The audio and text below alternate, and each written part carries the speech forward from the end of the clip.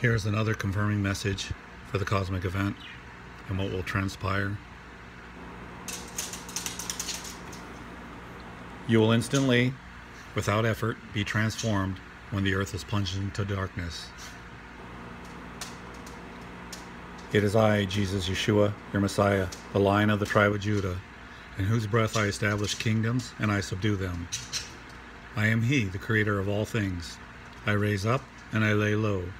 There is nothing that has been created that was not thought of, designed, and purposed by me. I am He that speaks to you, to warn of th- to warn you of things to come.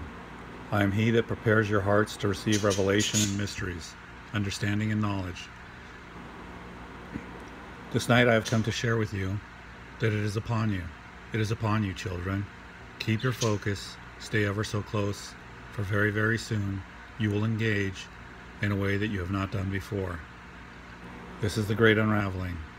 With great and terrible speed, the events come. I mourn for the loss that there will be of so many, but it must be so. Do not grow weary in the day to day training and task at hand, for in an instant all will suddenly change. I tell you this so that when all is spiraling out of control all around you and people are in complete chaos and fear, you, my own, will know no fear, for it is I who will operate from within. I assure you, you have my complete peace. You will instantly and without effort be transformed, and from there will go on to carry out many, many things in my name, for this is why you are here.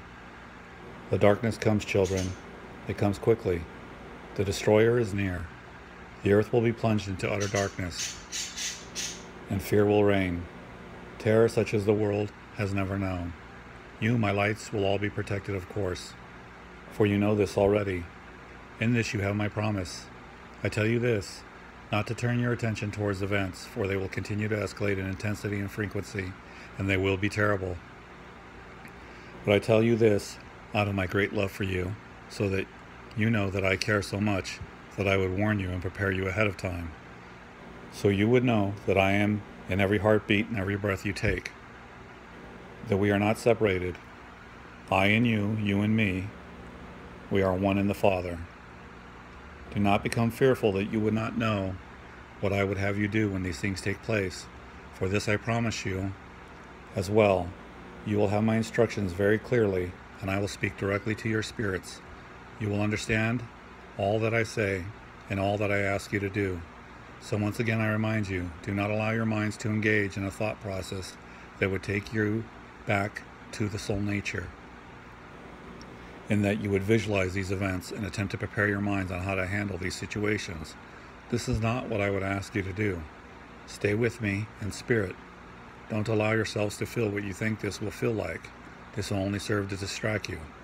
This is why I come and speak with you. I do this because I am teaching you. I am teaching you now before these events come.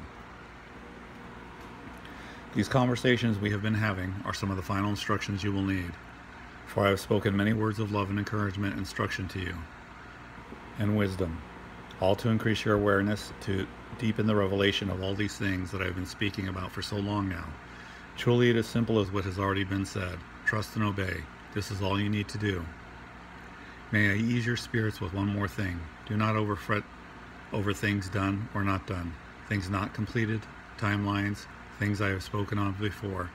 For all is in my hands, and I know what will be done and what will not.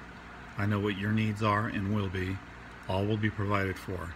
As always, do what you know to do each day, never striving, always abiding, knowing that I have the outcome. I put no pressure on you to finish anything that has been set before you. It is about the journey, not the end. Remember this. This is a wise, wise statement. It is about the journey. Everything you do is a heart matter. I see the motives and desires of your hearts, for I have placed them there. I wish you to seek me with all you have, regardless of what you consider to be accomplished or not. It is all in my flow. Just stay with me, children. It is that simple. Just stay with me. Be my voice, peace, in this place. Sound the alarm. Repent, repent, repent, for the kingdom of heaven is at hand. Truly I come. Time is no more. Jesus Yeshua, in whose breath kingdoms are established and subdued. and I will post the scriptures below. As with every word, seek the Holy Spirit of God in your prayer closets and seek confirmation from Him and Him alone. Trust in no man and no woman, but put your full faith and trust in our risen King and Savior, Jesus Christ. Glory to God in the highest, for He alone is worthy of our praise. I plead the blood of Jesus Christ over this audio message and over any and all the Holy Spirit of God has led here to listen to it. In Jesus Christ's most holy, holy, holy name. Amen and amen.